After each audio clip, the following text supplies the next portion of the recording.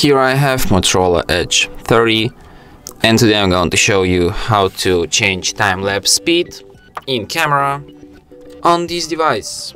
So first let's open camera, then switch to the time-lapse mode, we go into the more, then time-lapse and by tapping on this button here you can change its speed. You have different speeds from 4x up to 32x and between them 8x and also 16x.